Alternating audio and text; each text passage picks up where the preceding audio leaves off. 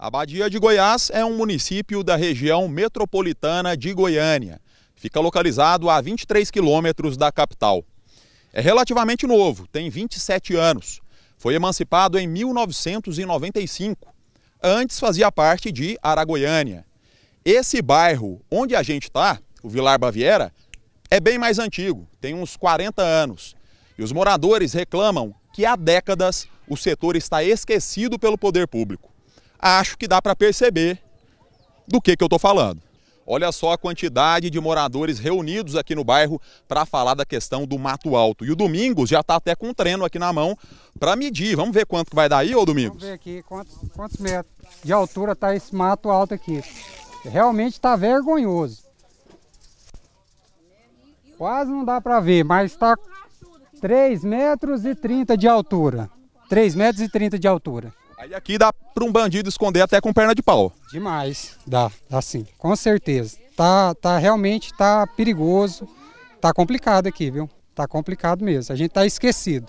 Outra reclamação é que os ônibus não estão passando aqui dentro do setor. E aí os moradores têm que andar vários quilômetros lado a lado com o matagal. Perigoso, hein, Denonice? Muito perigoso e até para as pessoas que estão na idade, né? Meu esposo e ah, os, os, meus netos, eles vão lá para o outro lado ali. É um perigo nesse mato, nesse matagal.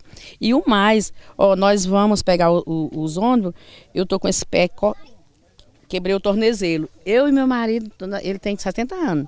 Nós saímos daqui para lá, é um perigo para nós também, né? Se eu precisar ir no Garavelo, chamar o Uber, não, não vem aqui.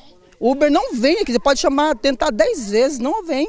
Então, assim, a gente fica. Se você não tiver uma condução para sair, um carro, uma moto, como é que vai fazer? Mato alto, ônibus que não passa dentro do setor, obra que não termina, não é fácil morar aqui no bairro, não, hein? Policiamento também aqui, ó, é a calamidade. Passa uma vez por mês e olha lá, viu? É esquecido mesmo. Realmente, a polícia não aparece por aqui. É raridade da gente ver uma polícia aqui. É difícil, viu? É um risco muito grande, que o povo, até para andar à noite aqui, está perigoso.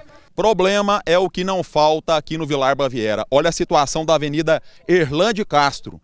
Há anos essa avenida sofre com alagamentos, quando chove não tem para onde a água escoar. Seu João, a prefeitura está fazendo uma obra aqui agora, mas essa obra já está durando bastante tempo, né? Já está bem, bem tempo já. Eu acho que ele já devia ter concluído isso. E, mas aqui é toda a vida é assim é por causa da chuva. Aí a chuva passa, vai anos e anos, já tem 11 anos que eu conheço essa avenida desse jeito. Só deu uma melhorada com essa rede que eles puseram aqui, porque nós fizemos uma reunião com o prefeito, o prefeito ajudou nós com essa rede. Mas nós queríamos que arrumasse a, a avenida, para ficar um setor pelo menos mais decente para a gente morar, né? Durante as gravações, o secretário do Meio Ambiente de Abadia de Goiás chegou ao bairro.